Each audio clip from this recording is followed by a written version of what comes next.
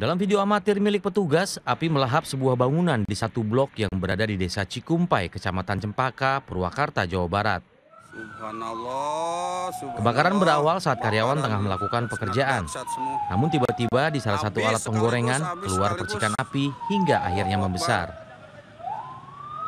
Meski sudah dilakukan pemadaman oleh karyawan, namun besarnya api membuat sulit proses pemadaman. Mungkin terjadinya di konsentring listrik di penggorengan.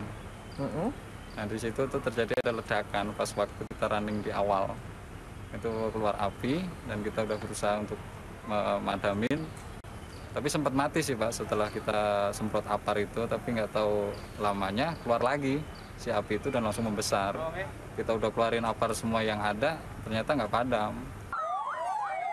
Belasan unit mobil damkar diturunkan guna memadamkan api.